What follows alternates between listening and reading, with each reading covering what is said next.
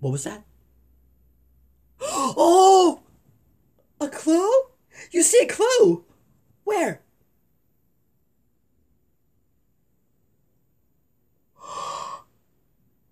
There it is! Our first clue! it's on this pepperoni. So, our first Blue's clue is pepperoni. Ha! Hey, now we need our handy dandy